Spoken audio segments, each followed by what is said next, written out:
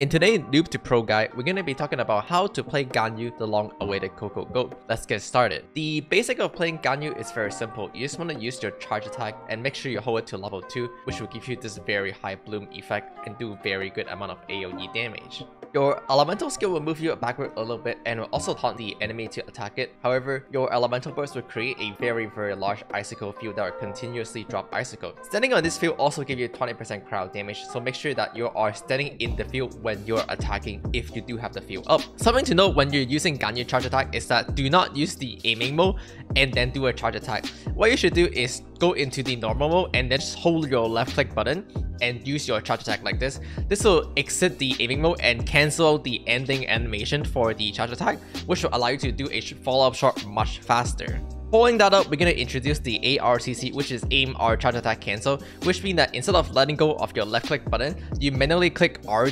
cancel out right after you shot a shot. This will cancel the ending like much faster and lets you fire a shot even faster than before. A lot of enemy in Genshin Impact have a spot called the weak spot where it's guaranteed a critical strike. Uh, most of these is on their head and for Ruin Guard enemy it's on their light. And so when you hit a weak spot, it's guaranteed to critical strike. So you're trying to aim for the weak spot as much as possible. Now another thing uh, a lot of people like to talk about is oh if you cannot aim just hit the ground and let the bloom do the AoE. But try not to do this because the initial shots still do a lot of damage. So essentially by aiming at the ground you lose out a lot of single target damage when you are firing your shot. Currently there's two major ways of playing Ganyu. First is the Melt Ganyu which is Bennett, Xiangling, Zhongli and then Ganyu.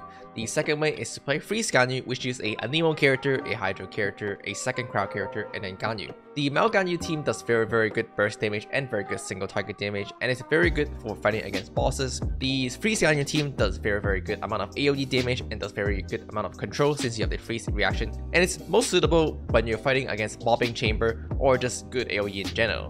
Playing Melt Ganyu is very straightforward. You're gonna start by casting the Zhongli Elemental skill for shield, Bennett Elemental Burst and skill, and finally Xiangling Elemental Burst and skills, and then just cast the Elemental skill on Ganyu, and you're gonna do about 4 to 5 charge attack on Ganyu. Uh, make sure that the enemy have Pyro infused on them before you attack, which can come from the Xiangling Pyronado, and then you're good to go. It is possible to replace the Xiangling with Jean here, which use a technique commonly referred to as Sunfire Jean to apply the Pyro Infusion. When you're playing with Jean, you want to overlap both of the Bennett Elemental Burst and the Jean Elemental Burst. So you want to start by casting Ganyu Elemental skills, and then overlapping both the Bennett and Jean Elemental Burst, which should continuously swirl Pyro onto the enemy, and this will also allow you to get mouse off attack just like that. It's also replaceable with Kazuha, with Kazuha being even stronger than Xiangling because it allows you to do something known as the double swirl. Here is a full demonstration in actual effect. Start by casting Ganyu Elemental skill, missing your Bennett Elemental Burst and then Kazuha Elemental Bursting. This will swirl Cryo but apply Pyro Infusion, which lets you do 4 to 5 charge attack on Ganyu after.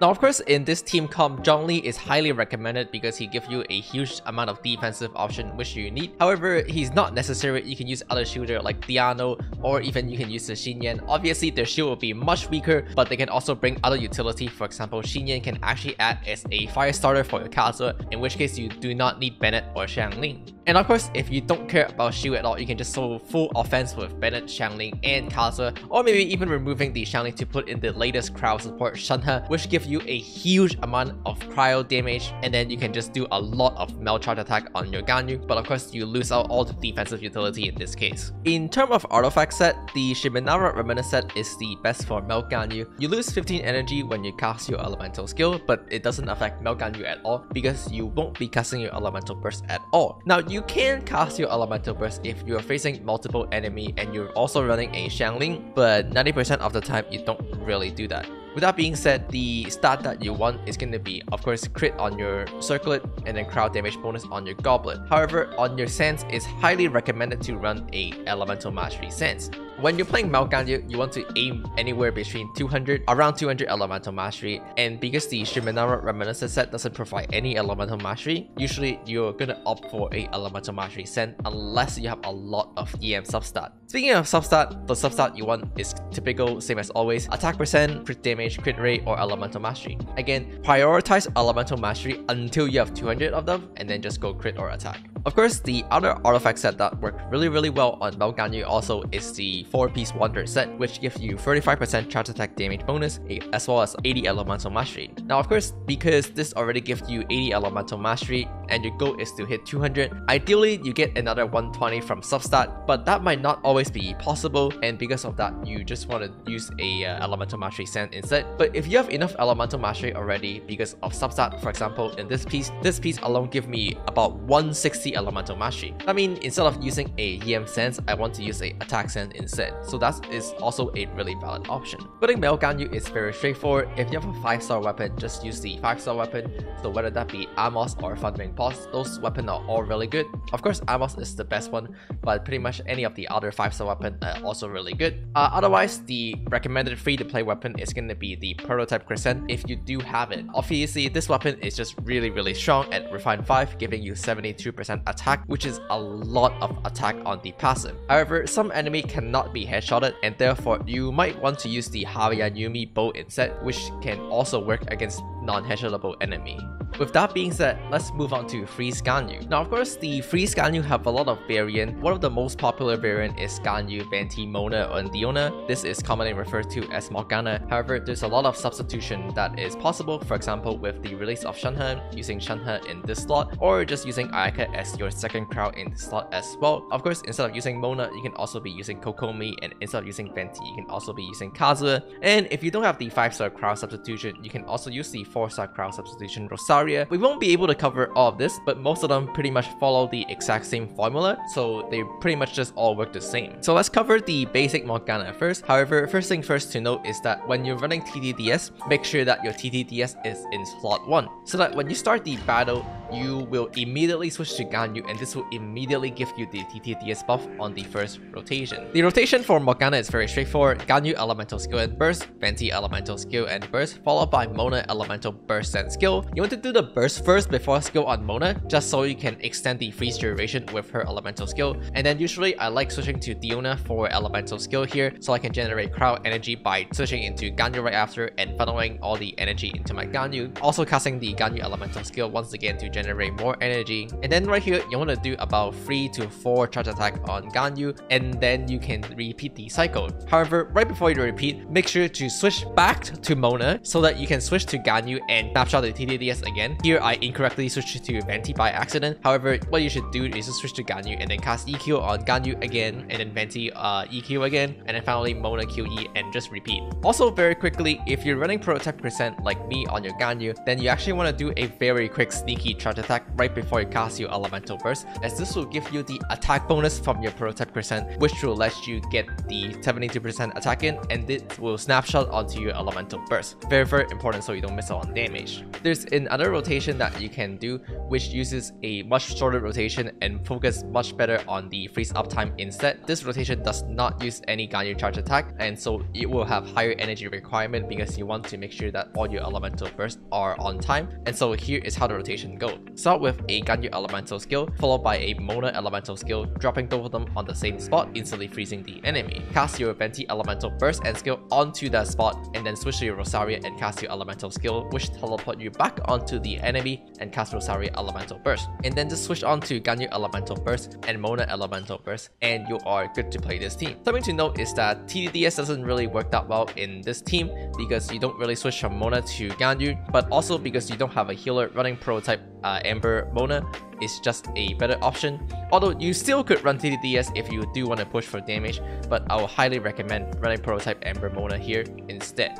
Now, unfortunately, I won't be able to cover every single variation of the Freeze team, Freeze Ganyu team because there's just too many variations. Again, you can use Kazuha instead of Venti, you can use Ayaka as your second Cryo as seen here, you can use Shenhe, you can use Rosaria, and of course you can use Kokomi instead of Mona. Overall, there's many many variations, and depending on which variation you're running, you might want to do your rotation a little bit differently. For example, here I cast Kokomi Elemental skill at the beginning of the fight because it has a very long duration, and then I just refresh it using her Elemental Burst. But more or less, uh, your rotation will come down to something very similar to one of the two that I've shown. Something to call is that if you can run Venti, Venti is much preferred than Kazuha because Ganyu Venti have a crazy synergy, but also Venti Energy Refund is really really important to make sure that you can cast Ganyu Elemental Burst on time. And of course, if you're running Kokomi, then your second Cryo should be a DPS like either Rosaria, Shenhe, or Ayaka. For weapon on your Freeze Ganyu, any of the 5-star weapon pretty much have similar performance, whether that be Amos or Skyward or Thundering Pulse, they have pretty similar performance so just pick whichever one. Amos obviously have less value in Freeze Ganyu because you don't do that much charge attack and your damage come from your burst, but it's still a 5-star weapon with high base attack so it's still really good. Otherwise, the free to play or just 4-star weapon in general or to go for is of course the Prototype Crescent again. At Refine 5, you get 72% attack which you can snapshot onto your Elemental Burst which is really big, but sometimes you cannot do weak spot, so you might want to just, again, use the Hamayumi instead. But if you can use the Prototype Crescent, use the Prototype Crescent. Something interesting is that the 4-star new weapon, the Mormwind, is actually also really good for uh, Morgana Freeze Ganyu, because your damage comes from your Elemental Burst, and this weapon is able to increase your Elemental Burst damage by a very significant amount if you have it at Refine 5. If you have this weapon at Refine 5, you can actually outperform some of the 5-star uh, weapon at Refine 1, so this is a really good weapon to consider as well.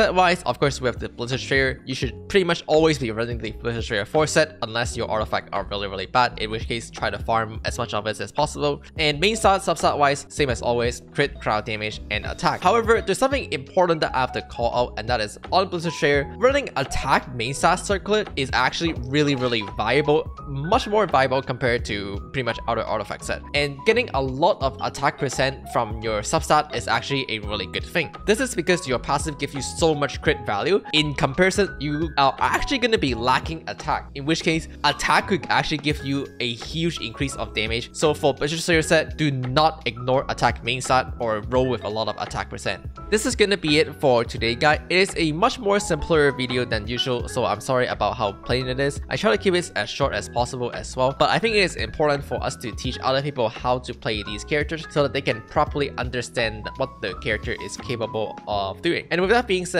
as always, thanks for watching. Don't forget to like, comment, and subscribe, and I'll see you all next time.